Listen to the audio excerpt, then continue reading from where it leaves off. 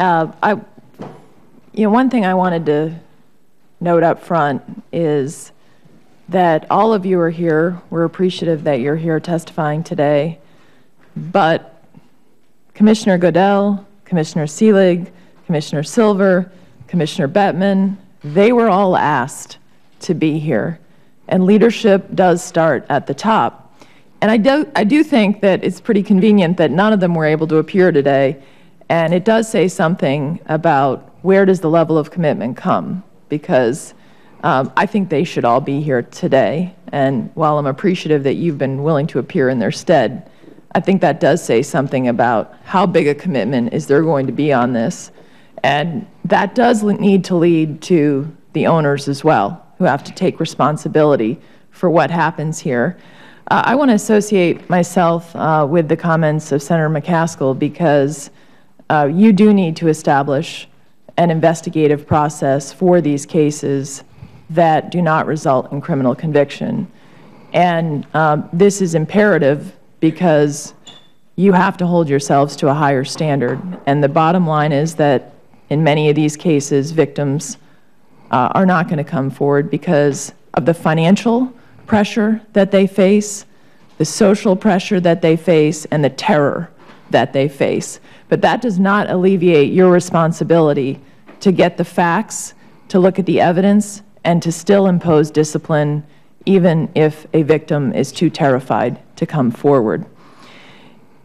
In the same regard, I wanted to follow up on Senator Klobuchar's questions about the reports of victims who are being encouraged or perhaps uh, discouraged not to come forward, or in the instance that Senator McCaskill gave where one was actually flown to another country. Um, I believe that as you look at your policies, the sanctions should be as severe for this type of witness tampering as it should be for the underlying violent acts. Because that's what this is, witness tampering. And that, if you put those sanctions in place, will make very clear that if someone is a victim of domestic or sexual violence, that neither the coaches nor the players nor anyone else should be interfering uh, with their ability to come forward uh, or interfering with the way that they are able to be safe or the support that they need as victims of, of a crime. Now, I wanted to ask specifically a follow-up question uh, on an issue as I look uh, to you, Ms. Roberts, and to Ms. Patterson. One of the things that I'm concerned about as I've listened to the testimony today is that in terms of the players' side of this, that they not hide behind the collective bargaining process or agreement when it comes to basic accountability and basic responsibility for not committing crimes, because this is what they are, crimes. Uh, crimes of violence uh, against women, sexual violence against women, or as we've seen some instances, violence against children. And so as I look at, I want to use an example, uh, Ms. Roberts, the recent situation of the imposition of discipline against Jeff Taylor uh, on the, for the, who's a Charlotte Hornet player, and I understand he received 24-game suspension uh, for a conviction for domestic violence for, for beating a girlfriend. And uh, what I saw was the unions complained that that suspension was excessive. The, as I understand it, the player himself has accepted this suspension.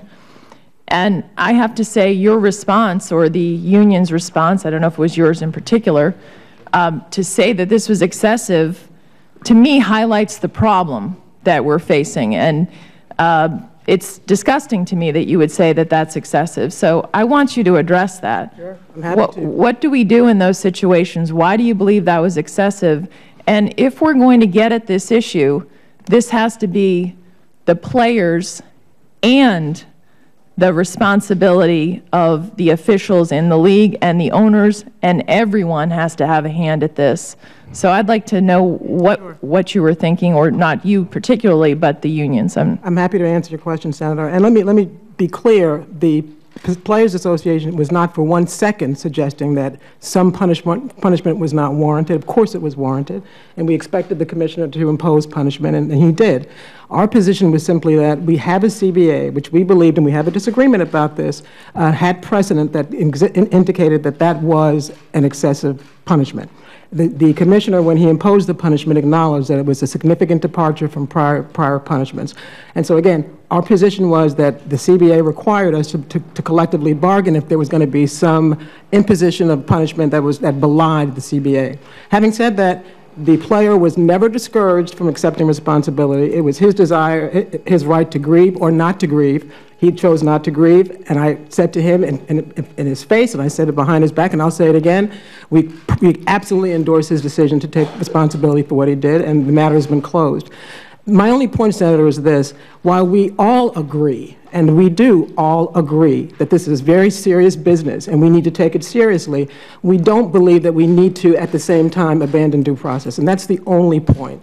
That doesn't mean that 24 games may not be appropriate under certain circumstances. It simply meant that within the four corners of the CBA, and again, we have a disagreement about this, it did go beyond the scope of what was collectively bargained for. But I don't want you, Senator, or anyone to assume that the National Basketball Players Association does not take this seriously. We do. I have spent the last two weeks visiting with nine of my 30 teams. I intend to see the rest of them in the next two months. And every time I meet with them, I make clear to them that we will not tolerate this kind of conduct. It's not the NFL problem, it's our problem as well. And so I don't want my- our position on the, on the Jeff Taylor matter to in any way confuse our commitment to making sure that this thing goes away. And my only final point I'd make is this, No, I'm sorry, you- your time is over. then I guess I won't. Um,